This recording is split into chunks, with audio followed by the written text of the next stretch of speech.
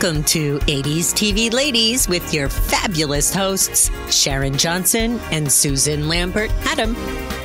Hello, I'm Susan. And I'm Sharon. We are kicking off a new series of episodes looking at a new old show today.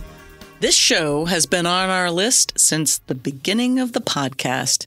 The sitcom A Different World broke ground and changed lives, created and celebrated stars.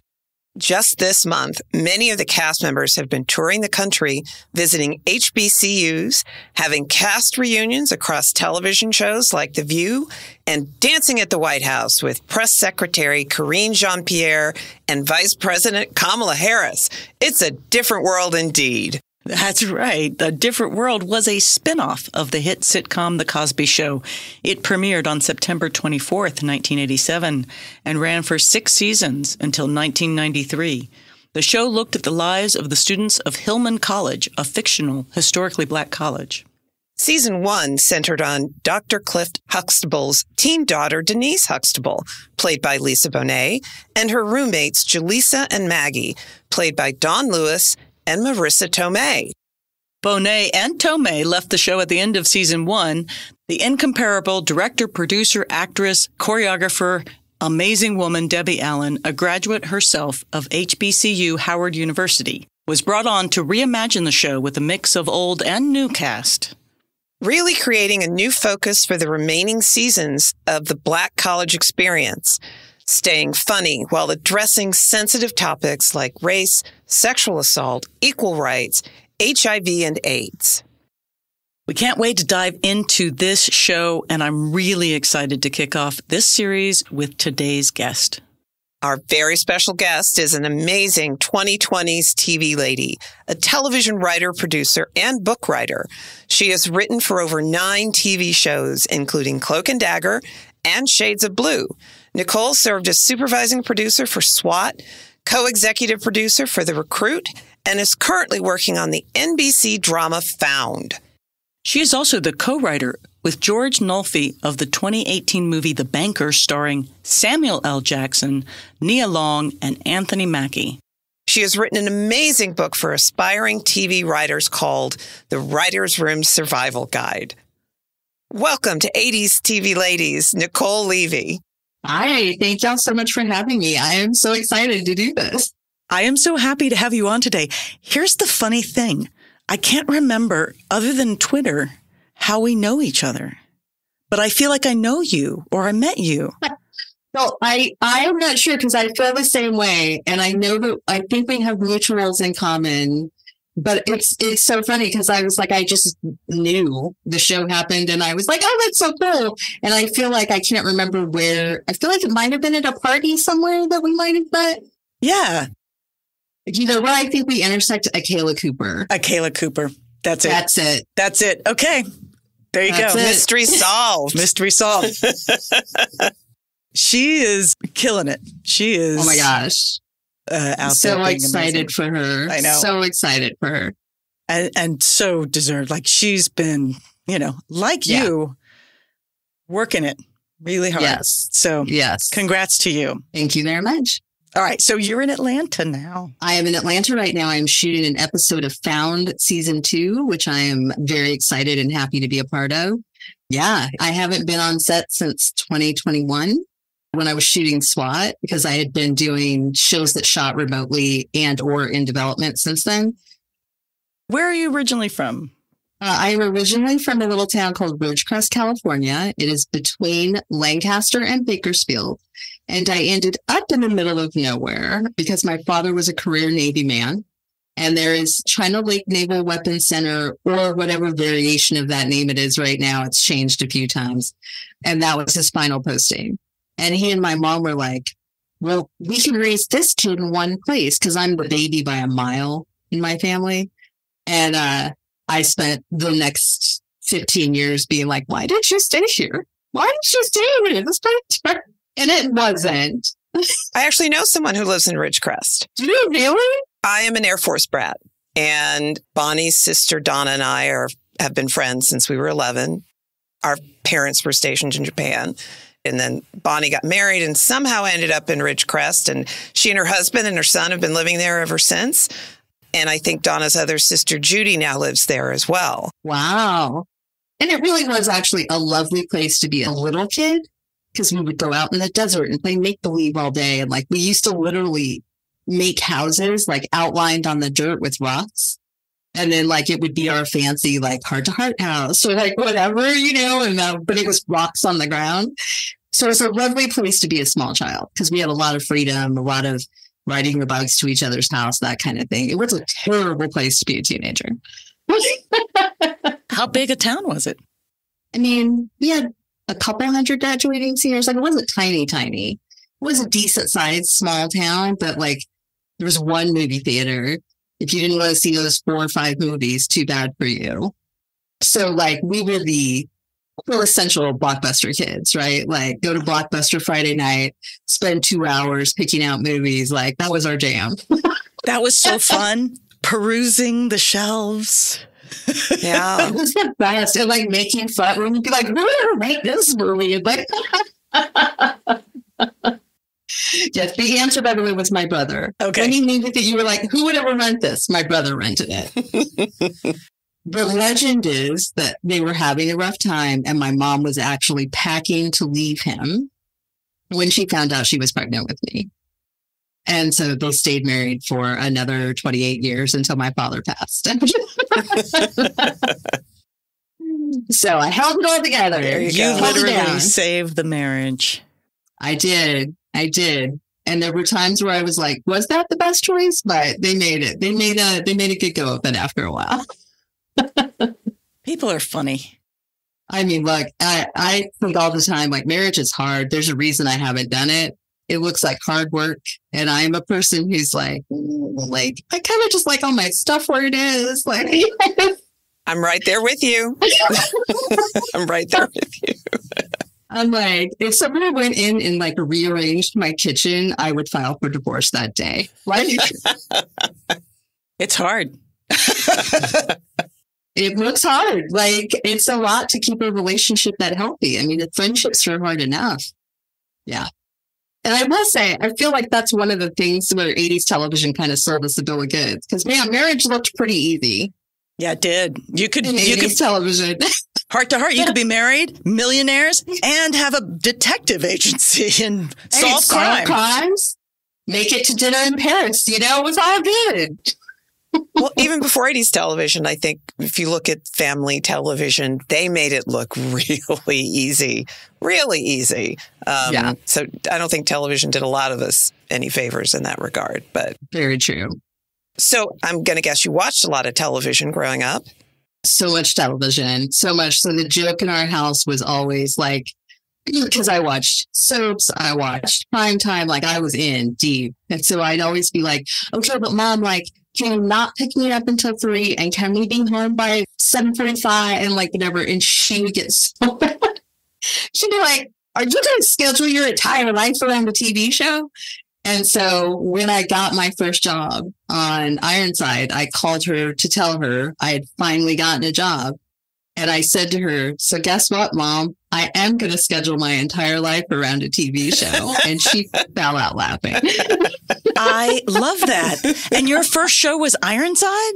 Yeah. The reboot? The reboot with Blair Underwood, who is just a delight, an absolute delight. I've been like wishing I could work with him again ever since. So I'm going to find a way to make that happen.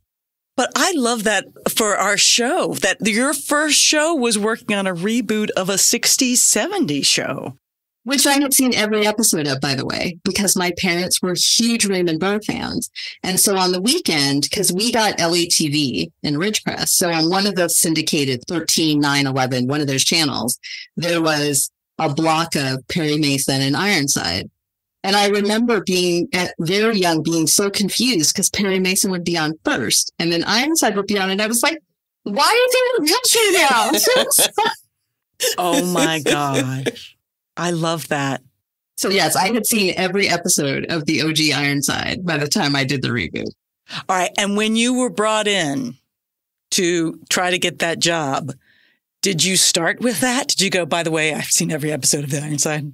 I did. I did. And uh, Ken Sanzel, who was our showrunner, was like, every episode. I was like, no, really, my parents love this show. I have seen all of it. I'm so excited that you know, the television watching gets you a job in television sometimes. Yes, as it should be. I'm sure it did not hurt. I'm sure it didn't hurt. Yeah, my parents were big, love, love television. So I watched like every rerun of Marcus Welby, every Perry Mason, Ironside, I Love Lucy, like Dick Van Dyke, all the classic great things because they just always had the TV on and they like to have me come in and watch with them. So, what was your path in getting to that first job in television? So, a lot of that TV watching, it just didn't occur to me that people wrote it. Like, I was so far removed from how the business worked. So, I thought I was going to be an actress. And I wrote things, but I wrote things just to give myself something to play around acting, right? And in my senior year of high school, I took AP English. And shout out to Mike Phillips. If he ever were to hear this, it was my AP English teacher. And he, you know, like when you, you do AP assignments, they put like a number at the top and it's like one through four and four is the best, right? And I kept getting twos and ones and I was pissed because I'm very competitive about my grades. And it's like, and finally he was like, you're writing stuff you think I want you to write. Like just write something from your heart. And so the next assignment was to write about a place that scared us. And I wrote about my mother's family um, is from New Orleans. And my great grandmother, who was the, responsible for the spelling of my name, lived in this old, old house that had been a brothel before she bought it, and someone had been murdered in the attic. And so it had all this legend attached to it. But I always felt perfectly safe there because my great grandma was such a badass. So I was like, nobody gonna mess with my great grandma. Come on, goes, because she'll take you out, right? And then she passed away. And the first time we went back after she died, the house terrified me. It was like I saw shadows around every corner or whatever. So I wrote about that feeling. And he handed back my paper with a four on the top of it. And it was like, do that. And I was like so excited that like I had done the thing he wanted. And so I started writing more, but I still didn't know that the path was going to change. And it was when I went to acting school. I went to the American Academy of Dramatic Arts and we had to read all of these plays. I'm sure I'm exaggerating this now. In my mind, it was a hundred. It probably wasn't that many, but it felt like we had to read a hundred. and in the reading of the plays, I was realizing that like I loved the storytelling part more than the performing part. And so by the end of the year, I was pretty clear on the fact that like that was the path I should follow. And so then my parents were elated because they were like, thank God she's going to go to a real college and study a real thing. And I had to work my way through school because, you know, my parents were very sort of average middle class and USC tuition was like a, um, what? And mm-hmm. so I started out in junior college at Pasadena City College. And I got a job as a police dispatcher in San Marino, which is right by Pasadena, and worked my way through school. Wow. And that was kind of how I got into the actual study of writing and, and did all that. P.S. for anybody out there, did not go to film school. You can have a perfectly great career and never go to film school. I was an English major at USC. so you were an English major? Yeah. Was this for a bachelor's, a master? So for bachelor's in the English major, they had a creative writing track. Oh, good. So that was my bachelor's. And then they used to have, they no longer have it at USC, a master's called the Master of Professional Writing. And what was great about it was you had to do everything. And so I left that program and got a job in publishing immediately in uh, magazine publishing. And so what I feel lucky about is that my degrees actually helped me keep a roof over my head for the many, many years it took for me to break into television. So it turned out to be really helpful, but very expensive. I, I finally paid my student loans off a couple years ago and it was the happiest day of my life. Congratulations. Congratulations. That's huge. Yeah. I paid mine off and it took a long time. Yeah. But I am very concerned about the people that have hundreds of thousands of dollars in debt from school? I literally, I could not borrow enough money to go to USC now. Like my total student loan debt for five years between undergrad and grad school is probably two actual years at USC now. Yep. I, I don't know. I couldn't do it now, but I'm I'm real glad I did it when I was like too excited to go to USC to realize the financial burden. That's what I felt. Well, you were smart to go to Pasadena first, Yeah. so you you got a couple of years of a reasonable price. Yes. Yeah, I did. That didn't occur to me. I got out to USC, and then I was like, "Why am I? I came to go to film school. Why am I taking English 101? Like, I could have stayed in Georgia for that." Yeah, I have some friends who two of their three kids are doctors. So you can only imagine the size of their student loan debt. But you've paid off yours. Yes, yes. Woo! that really is amazing. I want to get to a different world. Did you watch this show in the 80s? I did. I did. And what was fascinating, like I hadn't thought about it in so long, but I was talking with another friend about the fact that I was going to do this and I was rewatching the show. And what I remembered so clearly, even from, from the first episode is it was the first time that the idea of an HBCU was even a thought to me of a thing I could do because mm. neither of my parents had done that. And it sort of wasn't like a thing that we talked about in our house. And again, my parents have both grown up in the South, but now we were all the way out in California. So they were definitely not suggesting anything that meant I was moving back across the country. They were very like, oh, stay California, stay close to us, or we can keep an eye on you. And I had seen like the contrast because of school days, which made going to an HBCU seem like a terrible idea for me because the way that the light skinned girls get treated in that is not great. And so I was like, oh, like that might not be a thing. And then when I saw Hillman and a different world, I was like, wow, that looks great. And it was so fascinating because my parents were, they were like, sweetheart, we just don't know. Like, if you want to look into that, you should, but like, you've never spent time in a predominantly black environment. Like, I don't know if that's a right choice for you. But that's not a conversation we ever would have had if I hadn't seen the show and come running in and been like, but Hillman looks great. What if I had to go to school like Hillman? And they were like, well, um, I guess we're having this conversation now. Now, I didn't even know HBCUs existed when I was growing up, maybe partially because, you know, being a military brat, we lived different places. I mean, I was in Japan for junior high and first two years of high school. And at that point, it was like, uh, I didn't know what the heck I was doing in terms of trying to pick a college. Uh, I had no clue. I think, I, I think like you, and I'm several years older than you, that Hillman was really kind of my first exposure to HBCUs, sad, as sad as that may seem. Yeah, like I knew Howard existed. Like I knew of Howard. I knew what it was. Another family friend had a son who had gone there or was going there, but like it still just didn't, it never was like a, oh, that's a thing I should consider until I saw the show.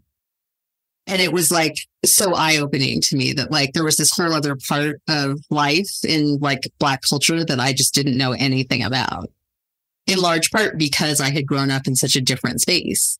So it was really fascinating to like watch that and sort of see, right, like there are a whole bunch of different kinds of people at the school and it didn't have that connotation of any one sort of person was wrong. It was sort of like, no, like we're, we're sending the message that like all of our blackness is good, which I so appreciated. Yeah, not to mention the differences in the socioeconomic backgrounds of all of them as well. Yes. And Absolutely. the ages. Mm-hmm.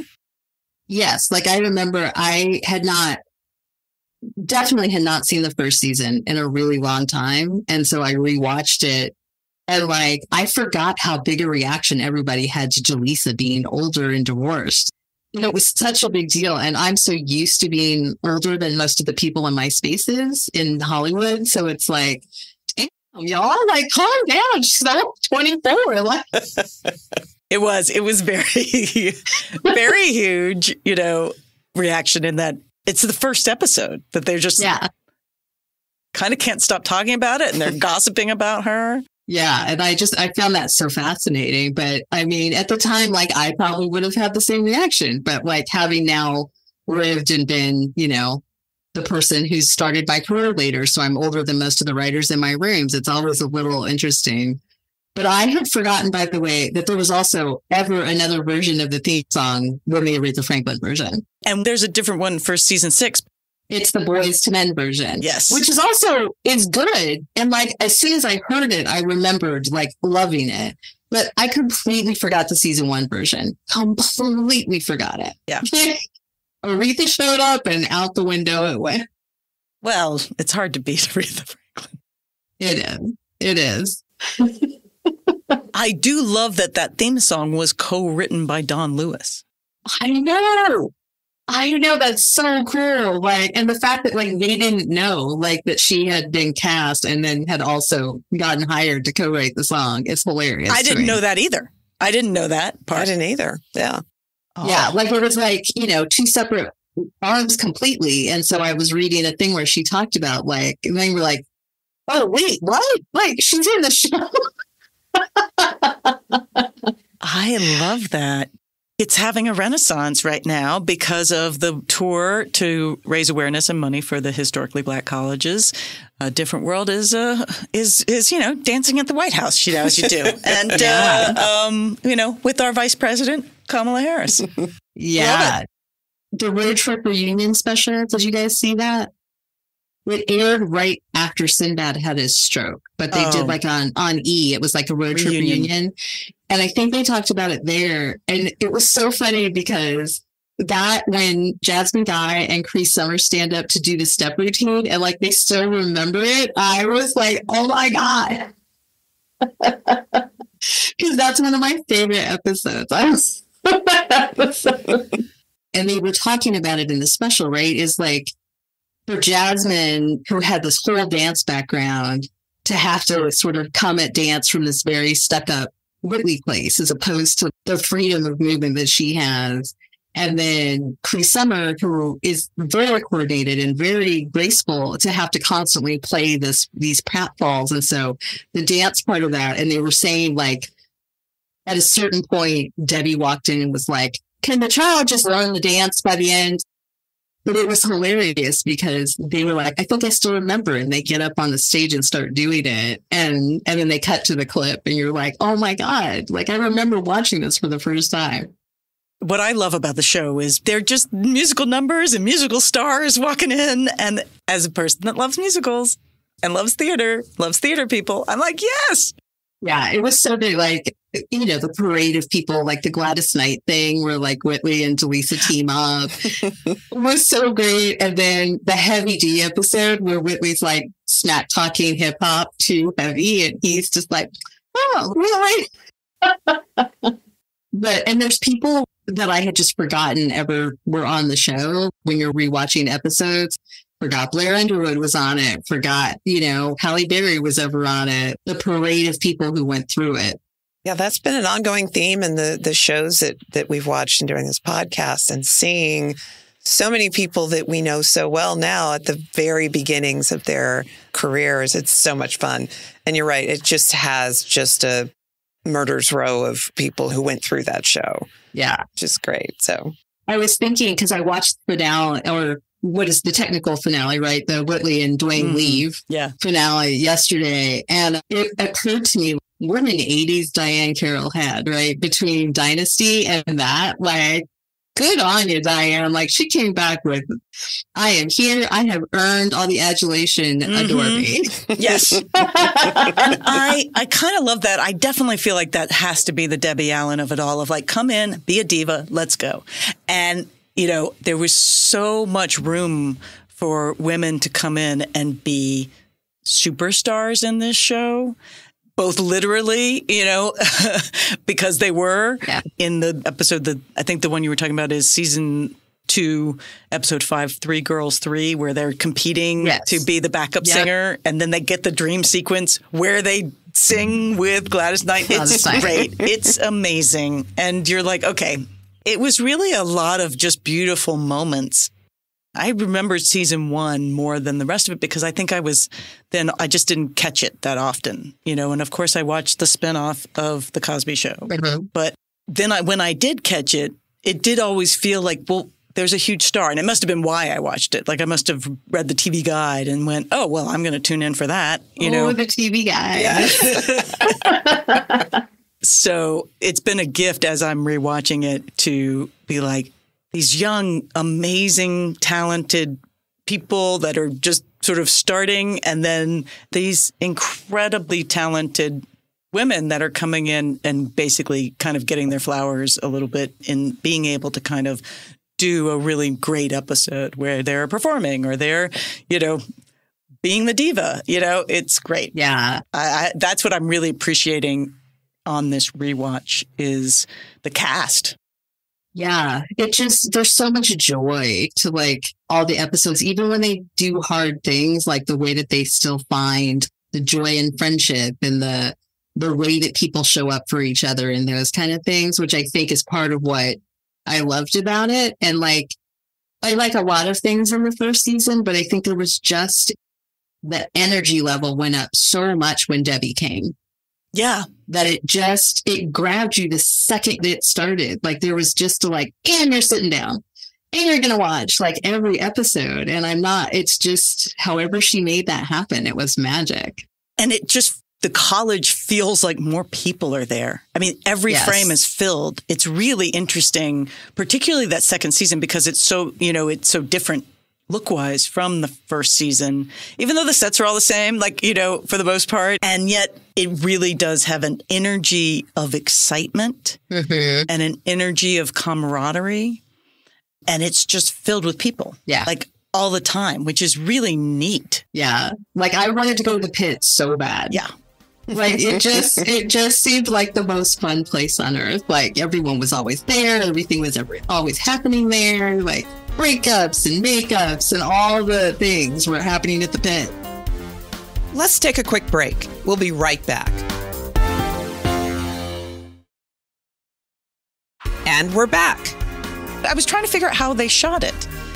It feels very You have a feeling it has a different feel or a different look than other other three camera of that sitcoms? time period. Oh, it looks much different than the Cosby Show. It looks much different than what I would call a traditional sitcom. Even though there are times it looks like a sitcom, there are times it looks like they picked up a camera and went right in to me. Yeah. I mean, I think you're I think that's some of that energy feeling, right? Of just everybody's young and in movement constantly. And somehow they were able to capture that. Yeah. And there's a lot more locations because, you know, like I was like, now they're in a basketball. Now they're outside. Like for a sitcom, it didn't feel constrained. Yeah. The way most 80s sitcoms definitely felt like, oh, this is all being shot on a soundstage and this is all being shot in these six sets they have. Yeah, no, I agree. The scope felt really big. And even when you could tell, like, oh, they like pull the car into the stage or whatever to do stuff. I don't know. You just felt it felt a little bit different. Like the episode where Freddie goes out with the the date Oh, episode, Yeah. Yeah. Yeah. and like even though that's clearly like we pull the car on a stage and we put some grills or whatever, it still had that feeling of she's all alone yeah. out there till Dwayne managed to come in the roof of the car, right? So you still got the feel of that, even though it was shot on a stage, which I just was like, so I know at the time I would not have noticed, but now as a as a TV writer and producer being like, damn, like that was good. Just they built the atmosphere so well for that scene.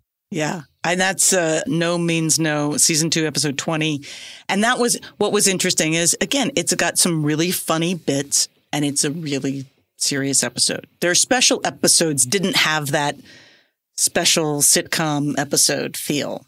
They felt like normal episodes, which also were dealing with really important stuff. I really loved the conversation between the two guys in the basketball scene. That's that's I think the basketball Yes. scene that I was talking about, where Dwayne is discovering information in that scene that starts to make him very uncomfortable. Yes. That his friend is talking about, oh yeah, I basically force women Yeah. because that's what they want, right? And it's okay. And for the time, you know, were there other conversations that were that complex? Because he liked the guy, right? Yeah. He he wasn't a bad guy. He wasn't a That was bad thing. guy. Yeah. Yeah. I was really impressed with how subtle and conversational that episode in particular was and also just the joy that she has for that guy when she's in you know talking with her friends and and she's giddy and you remember that feeling so it's crushing right like it's crushing i was really impressed with it in terms of being a sitcom approaching a really important vital topic that's really hard to talk about and was harder to talk about in the 80s because we didn't have language you know Absolutely. and it was very impressive that scene that you hit on, I was, it, you're right, because it's that thing of he's not done anything to appear to be a bad guy. So, like that uncomfortable moment where you start to realize, oh, are you not a good person? What do I do with this information? Like we've all experienced that in our lives for different reasons, but it's just we guys sort of had that moment. And I was so struck by that. And then when Dwayne goes to talk to Walter, Mm. and at the end of that scene, when Dwayne says, dudes need to talk about this stuff too. And it was like so progressive for the 80s, right? That like this isn't just a conversation for women to be having. You all need to be talking about this too. Those of you who know better need to be telling the other men this is not how you do it. Watching it, I was like, oh my God, this was so brave. It was so like unbelievable. I mean, I don't remember this show being called out for being so progressive other than it being said at it like on all levels. Like, and I knew they were happening, but I think it was a little bit like, you know, just the subtlety of how they're dealing and having these discussions. It was very unsitcom It, it approaches the Cagney and Lacey level of we're talking about things that don't normally get talked about and in a way that's entertaining and sideways and leaves you with as many questions as answers. Looking back on it, I'm wondering if one of the reasons why it, the show didn't get the credit it deserved for these kinds of things may have had something to do with the fact that it's a spinoff of the Cosby show and that's the big thing in the room. And oh, by the way, there's this other little show over here, however successful it might be. It's, you know, the Cosby show is kind of sucking all the air out of that room. Of course, if not for the Cosby show, it wouldn't have existed. But also, maybe if not for the Cosby show, it might have gotten more notoriety and more kudos for the, the types of things that they were doing in that respect. Because they did a lot of that kind of thing throughout the course of the show. Absolutely. They did, but they did not get respect for it. I Right. think you're absolutely right. Yeah. And I, I think you're right, Sharon. I think it was a lot of that idea, right? It, it was a little like TV nepotism. It was like, well, how hard could they have it? You know, they're spun off of the Cosby show. And it was Right. like, yeah, but they're not the Cosby show. They're doing a completely different thing. It's not like they just did Cosby show 2.0. And it was like, it's the same show. It's a completely different thing.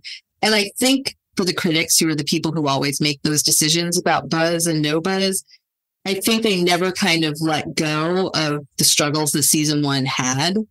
And they just couldn't give the credit where credit was due of the work that was done to like put the show on its feet in season two, right? All credit to the season one folks because there's a lot of fun to be had there and there's a lot of interesting moments. But when you watch season one into season two, the change is so huge and you realize like how much work was really done between seasons to like make it the show we all remember. And I think like that deserves so much credit because that's a really difficult thing to do. You know, the most modern day equivalent I can think of. And again, people who never got the credit for it, Agents of S.H.I.E.L.D., right? Completely different kind of show. But the first season, there was so much like, oh, it's trying to be case of the week and blah, blah, whatever. And of course, nobody knowing that Marvel's forcing them to tread water for 16 episodes before the whole Winter Soldier thing drops and S.H.I.E.L.D. falls apart, right? The way that that show completely pivots and like amps up the momentum becomes this whole like huge, huge show on a broadcast budget. They never get enough credit for that. And I think it's so hard for people to let go of the harder parts for most shows. I think the only show I've ever seen people really let go of those like rocky early moments is 30 Rock. And I would say maybe Parks and Rec too. I, I don't Yeah. watch Yes. either of those. Parks and Rec probably too. Yeah. Yeah. And The Office. Seinfeld, some shows get that opportunity to figure things out. And then once it's figured out, get to move forward in whatever manner the, the show is. But what's Yes. interesting, I think, about a different world, as you were just saying, is there's a conscious reset, right? These other shows, it's the same team shifting and figuring out the show. And that seems to be a half hour comedy path is we we have a general idea, we have some cool characters, but we really don't know where to take them until the end of season 1. And then by season 2 where everybody's just cooking with gas, which apparently you shouldn't do anymore. But but this show had to kind of reboot itself, right? With the loss of Lisa Bonet, with the loss of Marissa Tomei, Bonet and Tomei, I realized rhyme when I was setting up. Look at that. I was like, I had never realized that before. Um, so Bonet and Tomei left, and um, the real desire to lean into the historically black college world, I think, and really honor it Yeah. even more than the being a concept for the show, I think was really smart and allowing the show to do that. Cosby had broken all that ground and you can't have the show without the Cosby show for all sorts of reasons. But then what this show became, you're right, does not get credit because of the shadow of the Cosby show. And I would argue because it's women running it. I would 100% agree with that. I think that is the historical nature of our business is, you know, it's why I think that it was that TV nepotism of, well, I needed to spin off. So they don't, it's not like it's hard. It's like, you're saying that because it's a bunch of women. Like if someone else had run the show, you would have probably been like, oh my God, look at the heroes work they did Yeah. rebooting the show and all of those things. And, you know, sort of to our point of bringing in the hard topics and keeping the funny and all of that. Like I hadn't watched If I Should Die Before I Wake in quite a while. And so I watched it and I mean, it, it brought me to tears because it took me right back to what it felt like to watch people with HIV and AIDS treated like monsters and how infuriating it was to be young and watching that and being like, nobody has control over it. Nobody's choosing to get sick. Like, what is wrong with you people? That you're treating people like they don't deserve to be hugged anymore and they don't deserve to be loved anymore because they're sick.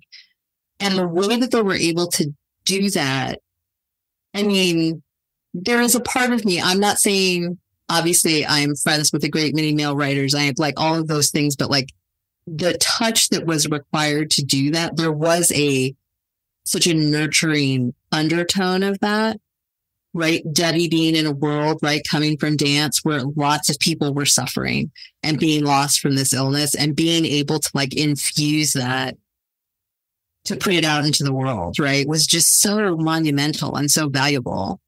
And knowing that we still need messages like that in the world, like watching that was just such a reminder to me, right? You think about the political climate right now. Can we please just remember that everybody is a human being? Like, can we stop with the othering and sectioning people off? And like, I think that's part of why it hit me so powerfully again, not just the memory, but like it's still so necessary. Yeah. And I think so much of this show, like showing the differences in young people, right? Showing the, you know, Kim having the pregnancy scare versus Whitley wanting to wait longer to ever have sex. You know, all those things. It's like we start to think of people as a monolith. And it's such a great reminder that there's all different kinds of people in the world because you see them all at the school. It makes me think about the fact that this kind of storytelling, the kinds of topics that were touched on, not just in the different world, but in a lot of shows in the 80s, we don't really see anymore. We don't see that kind of thing talked about in the context of the characters and people's life experiences. And I really kind of miss that. I wish there was more of that because I think it helped make a lot of difference, in my opinion, in the AIDS crisis. It helped to help people go, okay, you know, whatever I've been hearing and however scary this is, and not to minimize it, but maybe there's a better way, different way to think about this, to deal with this? I think there is such a an absence of that in some some of our shows, and I really miss it. Thinking about, I think the the most recent version of that I can think about is how people talked about how Modern Family helped so many people get over the hump with gay marriage. Right? It was like, oh, we love we love them, so I guess it doesn't look that different, and it's all fine. And like people were able to kind of take their blinders off a little bit. And look, procedural television has bought me a house. I'm grateful for it. I've done a lot of stories I cared about in the procedural space, but it does feel like there's a little fear now of talking about real things in too real a way. Yeah. It makes me sad. Like I'm like, I want Hill Street Blues again. I want, you know, homicide. Like I want those things that talk about life in a way that isn't cops are perfect or cops are all terrible. It's like we should talk about human beings doing a really difficult job. Mm-hmm. Right. And in the sitcom world, again, it's like trying to make space for, you know, not everybody looks the same. Not everybody comes from the same place. And my friend Debby Wolfe is doing the Lopez versus Lopez show right now. And I'm just so proud of her because it's like, at least it's someone different, right? On television. It's a different kind of family than we've seen in quite a while. And different economic situation, different everything. And it's like, thank God. well, and, I, and I know that 80s television and the people making it felt a need to talk about this stuff because there wasn't the internet. There was newspaper articles, but television kind of often would break ground on this stuff. And this is doing that same thing. To your point, I just, I remembered there was a quote that I had pulled that was from a People magazine article quoting Dawn Lewis, who starred as Jaleesa. When a different world comes along, you're adding people of color, various shades of brown, and financial elevation, social awareness, or unawareness. We painted a palette where there was someone for everyone. So anything we did, anything that our characters did to raise awareness or elevate the various facets of who we are in this fabric of this country and in our culture, I think that's what still resonates today because we're all striving to be our best selves. Uh, it's amazing. The facet of the historically black college experience. And as a white person and a white woman, it opened up a world to me. It also was like, well, that looks amazing but I was from Georgia. I grew up in Decatur, Georgia. Morehouse College is there. Spelman mm-hmm. College is there. I knew they were there. I didn't know they were historically black colleges and universities. So I didn't know what they meant until this show. And I didn't know what they meant to the culture until this show. And that was and has been still a real revelation because it's not what was being put on television then, and it's not as much being put on television now. Documentaries, yes. Internet, yes. There's a way to find all this information, but it's not as sort of beautifully stitched into a story, which I find is such a great way to learn and to absorb information because it doesn't feel like you're learning. Absolutely. I mean, when you think about, you know, firstly, all credit to Jasmine for the performance, and then also the way the writers wrote around Whitley, right? That like there's so many shows in which Whitley is just the bad guy. Where she's just the rich spoiled girl and she's always looking down on people and like, yeah, she's pretty and yeah, she's hot, but wait, like she's kind of a bitch. And the fact that Whitley was always an actual person even when she was doing all those things, like even in, in, cause I think the surprise birthday party is like before Debbie got there, right? Where she thinks everyone forgot her birthday. Mm-hmm. But even that, we've all been the person who was like, everyone forgot it's my birthday. We haven't remembered it's my birthday and how crushing that is. And to like watch Whitley, who has everything, go through that moment, right? And I just, we're watching it like really jumped out to me as a writer now, like how they wrote the other characters' reactions to her in a way that was not basically like, oh, Whitley's such an. It was like, we love her. Let's be patient. Let's help her get to the thing, which is such a big difference in how you write the characters around her. And so that, you know, when Dwayne falls in love with her, you totally believe that because Whitley's always been a good person in her heart. She just had a very narrow worldview and they helped open it up for her. And I just think sometimes watching TV now, like if there was a character like Whitley, I would 100% expect her to be written as like the butt of jokes and not get that level of humanity. And I think that's a little of what I find is missing. Yeah, and I think it's there from season one. Yeah. Dwayne was written a certain way in season one. And so when he becomes the man he becomes, it's it's college. Like it's right. where you suddenly realize like, oh, people actually do learn and grow up and make mistakes and correct them and develop their personalities to their full extent if allowed.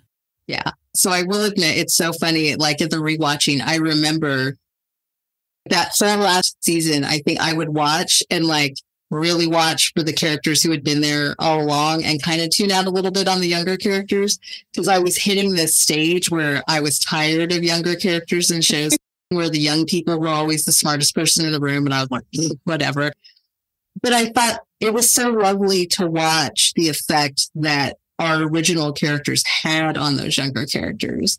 Cause that's what happens, right? You grow up and then you're the person the next generation wants to be. Looking back, I'm like, oh no, I like that. There's a huge evolution in this show. That was the other thing that I had forgotten, like how it shifts and adds characters and people and Sinbad. And, you know, like I just sort of had forgotten the richness of the cast. Yeah. You know, and how much the teachers come in. Yes. And it wasn't technically on my list, for somehow I ended up watching it was Radio Free Hillman because I kind of make a list of what highlights I'm going to hit first. But of course, I was watching it this week and thinking about all the college campus protests that are happening right now and going, God, I mean, I can't believe they did this, right? And yet that's what was happening in the 80s too. Yep. And it's so resonant, right? Like you want young people to be passionate and protesting, and you want them to be able to do that safely. And you want colleges to make room for that. It should be where they're doing it safely. Yeah. And that's hard. And that's what the episode is all about. It's crazy. It's crazy. It was stunning to me to like rewatch it and realize how much of the subject matter is still so relevant. It's like amazing and also makes me a little sad because mm-hmm. you're like, oh, really? We haven't we haven't pushed past some of this stuff. But I feel that way. I rewatch Hill Street Blues all the time, and I feel that way with Hill Street as well. Like if you could digitize out the giant bricks of portable phones and stuff, it it would feel pretty current, honestly, for a lot of the social commentary. But it really, I think that just shows that they really had tapped into something that is pretty universal to being young and then also very specific to being young and black. They were able to do both those things, which I think is is so tricky and hard. Yeah, admittedly, um, even when I was a kid, for the most part, I was not particularly interested in shows about kids or teenagers. I was always interested in what the grown-ups were doing. but it really has been remarkable rewatching it to see just how how remarkable it really is that I just didn't appreciate at the time. That sort of thing has been one of the gifts of doing this podcast and getting to go back and rewatch these shows and to learn to better appreciate what was happening and the women who were behind it, which frankly, I never thought about it. I just figured these things showed up on my TV without really giving a lot of thought as to how that happened. Yeah, no, absolutely. And it's funny you say that, that, you know, because it was about the teens, it's really unusual to me that I stuck with this show because like I was the girl who Thursday nights at 10 was like, you know, old school TV with the dial between Hill Street and Knots Landing because I couldn't choose because couldn't record it, couldn't do anything, like had to be there. So I was like, let's have, let's have, oh, it's not an Abby scene. Okay, let me go back. Like I would like go back and forth trying to keep up with both shows. Cause I was like, screw you networks. I am going to know what's happening on both my shows. It's going to I love that. That never occurred to me. I wish it had. Oh my God. The amount of lectures I got about how I was destroying my eyesight because I would just be arm's distance and just. yeah, it never occurred to me either. I don't know why it never occurred to me, but it didn't occur to me. Oh my God. You and Stan Zimmerman was creating networks Yes. and uh, developing his his own network schedule. Like uh, you guys were, were much more proactive. I was just trying to, you know, go through the TV guide and go, I guess I have to do this one. Desperate times, Yeah. desperate measures. yeah, no, I, I came up with all kind of creative solutions for things. Like I was a um, stat girl for the varsity football team, which meant every Friday I was at a football game. But I was also obsessed with Matt Houston, which is ridiculous, but I loved it. And so I got my friend's mom because they got a VCR, and I convinced my friend's mom to record it for me. So then every Saturday I would go over to their house and watch it so they could record over them. That's fantastic. when I was a kid, we had one TV, as you did. And so to uh, we would get into fights, I guess, about what to watch. And my mom finally said, "Okay, you each pick one show that we will watch, no matter what, and everybody gets to pick a show." So I gave it a lot of thought. Thought about what everybody else liked, thought about what I liked, and I deliberately picked a show that, even though it may not have been my favorite, I knew nobody else wanted to watch, but I did. And I still got to watch other shows that I like because other people picked them. So you got to do what you got to do to get your TV, is basically what I'm saying. because I was just such a TV junkie, and my parents got tired of listening to me flipping the thing around, so they put a TV in my room. Oh, We were like, wow. "We're done. Go to your bedroom. do what you're gonna do. We're done with you." In ninth grade, we had to write a journal, and we had to write in it Mondays, Wednesdays, and Fridays. I was like, I don't want to talk about my life. So on Mondays, I would talk about what happened in the Friday episode of Matt Houston. And then they would have shown the preview. And then I would have also seen the ad for the next episode of Heart to Heart. So then Wednesday, I would, I would like Monday guess what I thought was going to happen based on the ads. And then Wednesday, I would write about what really happened on Heart to Heart. And then Friday, I would write about what I hoped was going to happen on Matt Houston. And then Monday, I would come in and talk about, oh, well, here's what really happened. And so at the end of the year, my teacher wrote a note at the top of the journal and she was like, this is literally the most entertaining journal I've ever read. Do you still have that journal? I wish I did. No, my mother Please. put it out. No. I know, but it was probably my earliest not knowing it, but I was kind of writing fanfic, right? Because I was oh, kind of like, here's what I hope happens. And they're like, well, this is what they did, but here's what they should have done instead.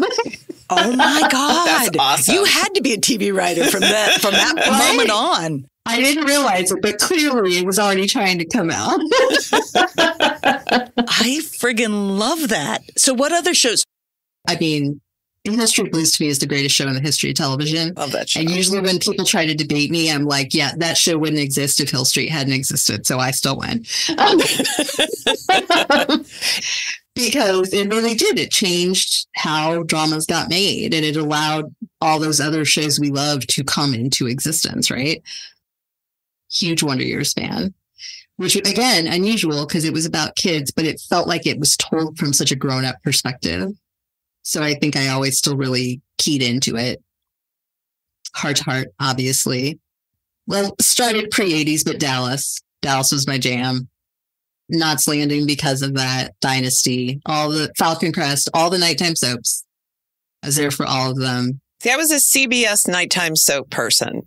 I resented I resented Dynasty for for trying to steal Dallas's thunder. So I refused to watch it. And then Cagney and Lacey. My mom got me on Cagney and Lacey, so I loved that you guys talked about it. Scarecrow and Mrs. King. It was my jam. Had to be home to watch it every week.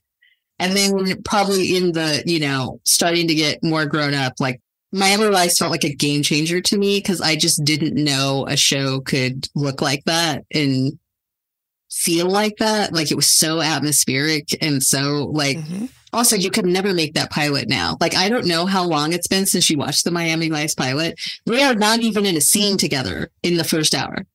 Really? Oh, wow. They don't meet until like the end of the first hour. Basically, like Does he have a different partner or something? Do they have a different partner? Yes, so do. he starts out with a different partner, and Rico's in town without permission because he's from New York and he's working in K. So like Rico just seems like a guy in the mix of the drug world or whatever, and then it's like, oh no, I'm really a cop from New York. I'm here to find who killed my brother, and then it's like, oh, like that. You can never get away with that now. They Move it left. yeah. I had been keeping a list of all the TV shows I had ever watched in my lifetime.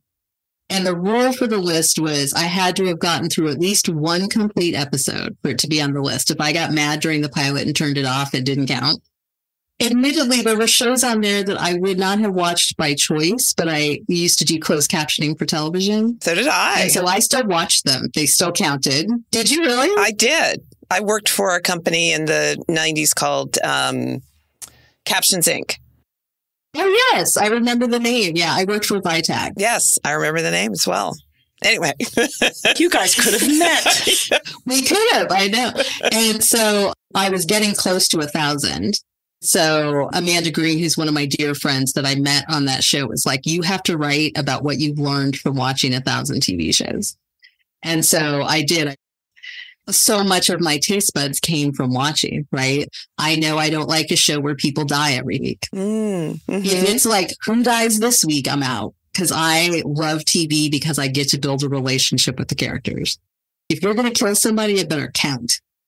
And I realized like a lot of that's from the shows I watched growing up and how much of an impact it would have, right? Because they used to be so skittish about killing people off on shows. And like the impact it has, like when it happens, that you're just, so it should really matter. And I think that's one of my biggest takeaways from being a fan of TV. So I'm very appreciative to all of those writers that I watched growing up who were like, make it count. If you're going to do it, make it count. and you also have written a book. I did. I wrote The Writer's Room Survival Guide. A little against my will at first. Carole Kirschner, who was an amazing human being who administers the CBS Writers Mentorship Program, which is now the Paramount program, and does showrunner training at the Writers Guild, Mm. was sort of one of the first people to believe in me as a TV writer. And thus, uh, I adore her. And she was like, I really think somebody should write a book like this. And I was like, someone should. That's a great idea. And like the fourth time, she was like, Niceole, you, I'm trying to tell you to write the book. I was like, "Mm, I don't think I have, I don't want to write a book. And then I wrote a table of contents and sent it to some friends to be like, what am I missing? And they told me, and I was like, oh yeah, I have a lot to say about that. And suddenly I had an idea for a book. So there you go. Congratulations. Don't screw up the lunch order. And other keys to a happy writer's room. several people have been, isn't that more about the writer's assistant? And I was like, no, it's the person in the writer's room who makes lunch difficult. If you're in the writer's room and it's like, I don't want to disparage a restaurant, but restaurant X, which I hate, I am not going to throw a fit because we're going there. I'm going to just go to the commissary and grab my own lunch. But the people who were like, we don't want that. Or if you're going to go there, can you also stop at this other place that's like two blocks away and do whatever? I was like, no, unless you are the showrunner, you either say thank you for my lunch or you take care of yourself. You do not run the PA crazy. So I did, I got my whole start in procedurals. And I think a lot of that was I grew up in a house where my parents loved cop shows, right? My parents were also responsible for my Dallas addiction. They were responsible for China Beach. China Beach. Yeah. There were definitely some shows that my parents got me into that were not the traditional like cop shows, but like Hill Street was my parents' fault. Homicide, I think I found on my own, but like, you know, Policewoman and McMillan and what, like all of those shows. And I had always enjoyed them. And so definitely a lot of my early work was doing specs of whatever the modern day equivalent of those shows were and like really honing that and trying to find my way in. The first spec I ever wrote was for the X Files. And it's dreadful, but it taught me a lot. So it was you right, like you you have to learn the the stuff to get better. Because it sounds great. And then you sit down and do it and you're like, oh, this is hard. yes. It's hard work to write an hour of television. it doesn't just magically come out of you. But I, so I did a lot of that procedural work. This show where I willed myself to the place. I had always loved genre on top of my procedurals. Buck Rogers, OG Battlestar, original Star Trek, Next Generation. Next Generation is my my touchstone. I love it.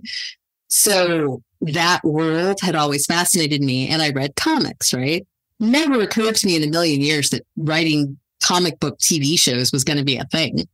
That seemed like like I had watched original flavor Wonder Woman. It didn't seem like they were that was coming back. Right, Incredible Hulk, great something I watched as a kid, never coming back again. And then here I am in the TV business and Agents of S.H.I.E.L.D. happens. And now suddenly comic book TV shows are a thing. And I don't think it is an exaggeration to say that I just sent everyone I knew, Kayla included, to the Marvel offices to be like, how have you not interviewed Niceole? so that by the time I got a meeting at Marvel, I walked in the door and they were like, So I hear you watch everything. And I was like, I do. Which show would you like to talk about first? and that is how I got my job on Cloak and Dagger. I got off of that, got a meeting with Joe Pokaski, who was like, even though he teased me mercilessly about my Agents of S.H.I.E.L.D. love, hired me anyway. I did. What, I'm so glad you brought up Cloak and Dagger because I'm a big fan of Cloak and Dagger. I love Olivia Thank Holt. You. I think I love her as an actress, and I know Joe Pokaski. So I was like watching that show sort of from the. I wish. I wish there was more of that show. So I, I do too. Believe me, like I really thought we were going to get to go back for season three, and it, we were pretty hopeful until they killed us. But it was just an absolute dream come true. Like you know, there's always that fear that you're going to get to do the thing you always dreamt of doing and it's not going to be great. But it was Joe runs such a good room and like the writers were great. The cast was great. It was just such a terrific job. And like I would, I would still be there. Can you tell us a little bit about your show now that you're working on? Sure. So, Found, for those of you who have not seen it, stars the amazing Shanola Hampton as a woman who, um, when she was in high school, was kidnapped by her teacher and held prisoner for a year. And he kidnapped a second child, and she was like, no, and escaped and saved herself and the other child. He got away. He has now been at large for 20 some odd years. This is not really a spoiler because if you saw the commercials for the show, you definitely got this was she mm. now finds people for a living, specifically people who police are less likely to be looking for. So people of color, people from the LGBTQIA, you know, community, people who fall through the cracks. So that's her vocation. She has a whole team of people who help her do that. She also has her kidnapper locked in her basement. She tracked him down and is now holding him prisoner forcing him to help her find other bad guys. So that's kind of the premise. We left you on a very big cliffhanger. Uh, well, I should say the other writers did because I was not there season one, but I am now part of season two. It's so great to me because anyone who follows me on socials knows that I have been reposting stuff from the Black and Missing Foundation for three years, I think, since the documentary aired on HBO. When people who are Black and Brown go missing, they don't get the media attention that a lot of other folks do. And so to get to make television that talks about something that matters to me that much is pretty exceptional.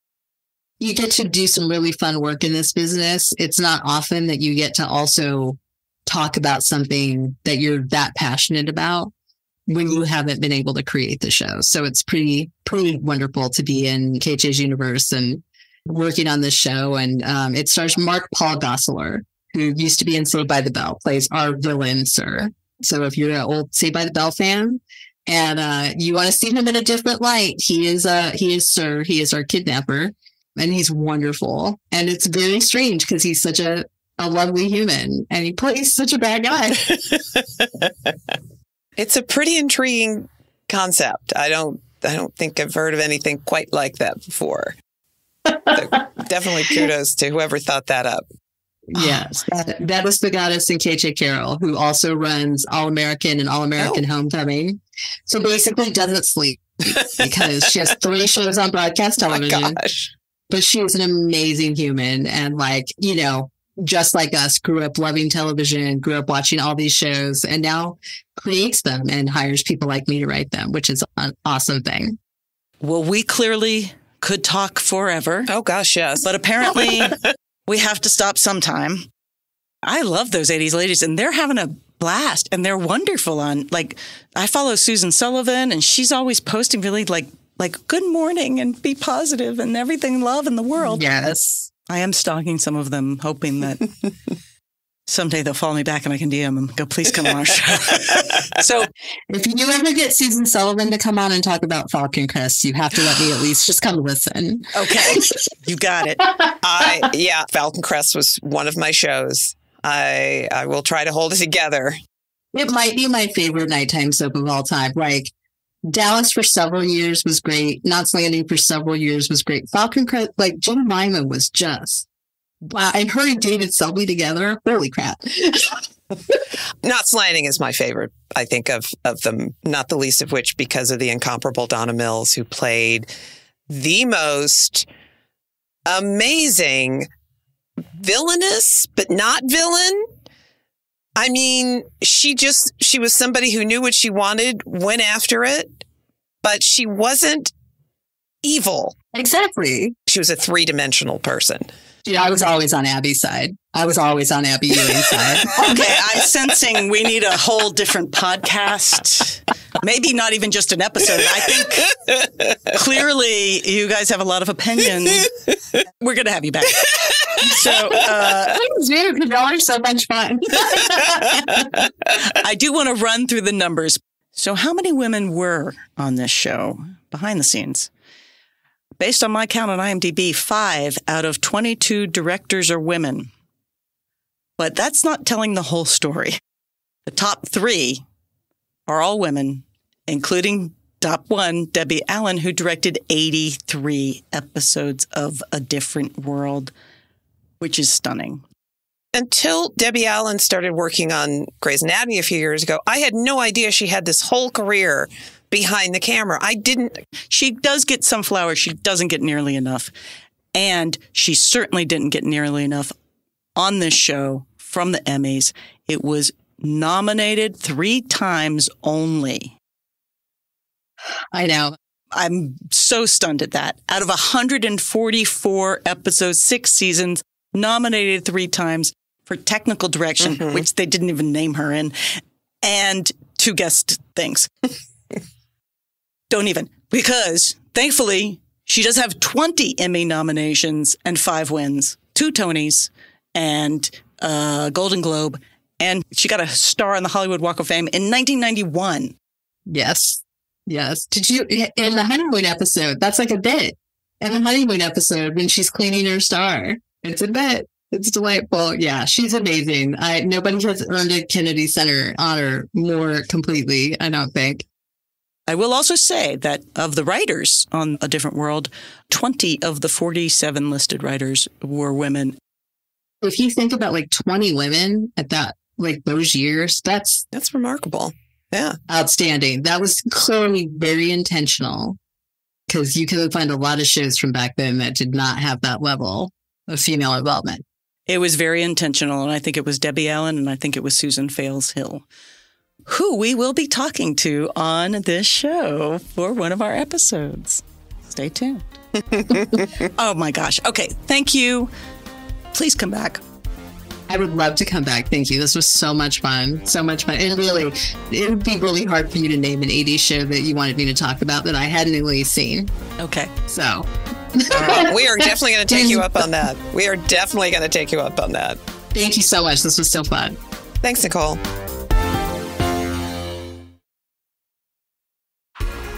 In today's audiography, find A Different World streaming on Max. And you can learn more about Niceole Levy at NiceoleLevy.com. N I C E O L E L E V Y.com. There'll also be a link in our description.